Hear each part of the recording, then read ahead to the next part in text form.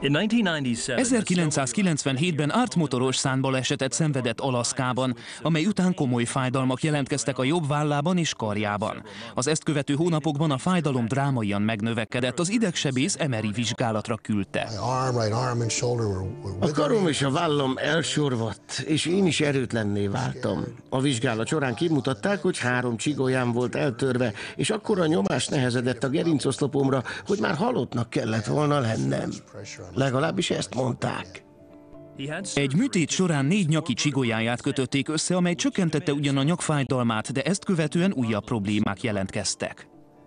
Elzsibbadt a jobb karom és a jobb lábam. Állandóan bizseregtek.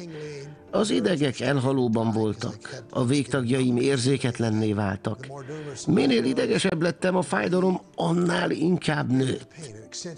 Az idegeskedés is a tetőfokára hágott, és ezt követte a fájdalom mértéke is.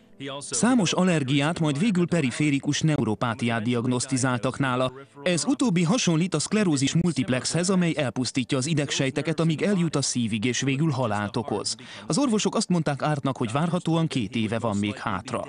Ártot elöntötte a félelem és a harag.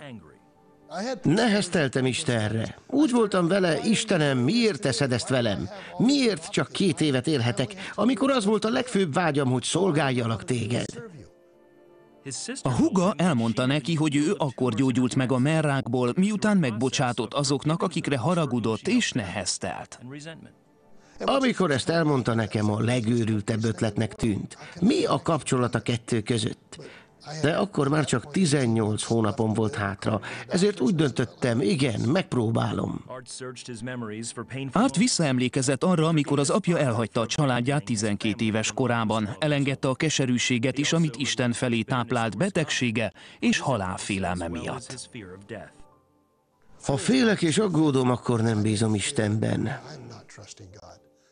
Meg kellett térnem a félelemből, és vissza kellett lépnem a hitbe, és bíznom kellett Isten ígéreteiben. A fájdalom csökkenni kezdett, mert az aggodalmaskodás is csökkent. Ahogy kidobáltam a keserűséget, megtanultam megbocsájtani és Isten beszédét követni, a félelem eltűnt. Az immunrendszerem helyreállt, a testem meggyógyult.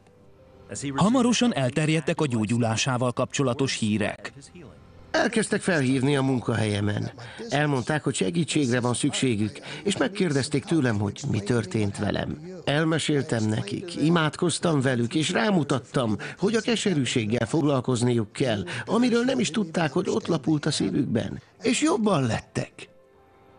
Art visszaült az iskolapadba és megszerezte a doktoriát, majd elindította a Wellspring Ministries-t. Azóta Art sok embernek nyújt segítséget egészségük visszanyerésében. A haláltól, jövőtől való félelem és ezek a negatív érzelmek, félelmek mérgezőek a testünk számára. A negatív érzelmek minden problémát felerősítenek. A szívből történő megbocsátás egy személyes választás. Eldöntöm, hogy szívemből megbocsátok. A kínzóink, a harag, neheztelés, keserűség, félelmek és aggodalmak, ezek gyötörnek bennünket.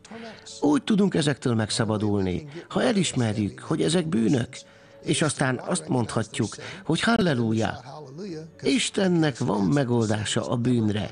Nem vádol bennünket, ha megbánjuk a bűneinket. Térjünk meg abból, hogy Istent vádoljuk, és ezzel megnyitjuk az ajtót Isten gyógyító erejének. Több ezer embert látunk évente meggyógyulni, ahogy megtanítjuk őket megbocsátani. Az immunrendszerünk helyreáll, a betegség elmúlik. Árt szerint a gyógyulása, amely 15 évvel ezelőtt vele történt, és a több ezer gyógyulás, amelyeket azóta tapasztalt, Jézus Krisztus tanításainak való engedelmesség által volt átvehető. Száz százalékosan meggyógyultam. Minden allergiából, több mint százból. A neuropátia is eltűnt. A jobb kezem is épp. Ha nem értettem volna meg az igéből ezt az igazságot, és nem engedelmeskedtem volna neki, akkor ma már nem is élnék. Azt tettem, amit a szerető mennyei atyám mondott nekem. Az ő szeretete és az engedelmességem következtében vagyok most egészséges.